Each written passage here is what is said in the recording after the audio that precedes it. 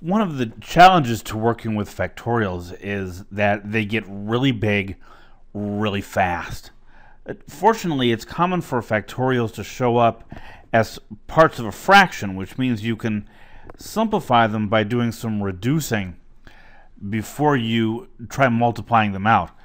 For example, if we start with something like 12 factorial times 10 factorial, you can think of the 12 factorial as being 12 times 11 times 10 factorial. N now that we've rewritten it that way, this becomes a lot simpler because we can cancel the 10 factorial in the numerator with the 10 factorial in the denominator, and that leaves us with just 12 times 11, or 132. So the key to this kind of simplification is looking at the smaller factorial, 10 factorial in this case, and rewriting the bigger factorial as the smaller factorial times some numbers.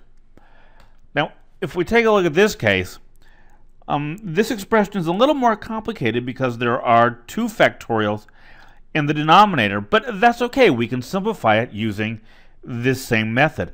I'm going to start by rewriting the 15 factorial as 15 times 14 times 13 times 12 times 11 times 10 factorial. And you notice what I did here. I saw the 10 factorial on the bottom, that was the bigger of the two, and I rewrote the top in such a way that now I can cancel them. Right? When these when I cancel out these two 10 factorials, I'm left with this expression. And at this point, there aren't any simplification tricks we can pull out of our toolbox anymore. Uh, all we can do is rewrite the 8 factorial as 8 times 7 times 6 times 5 times 4 times 3 times 2 times 1, and then simplify this like we would any other fraction. For example, I'll start by canceling the 4 times 3 in the denominator with the 12. Then I'm going to cancel the 7 times 2 with the 14. And finally, I'm going to rewrite the 6 as 2 times 3, because now I've got that 3 times 5 in the bottom, which I can cancel with the 15 up in the numerator. And that's going to leave me with 3 times 11 over 8 times 2 times 1.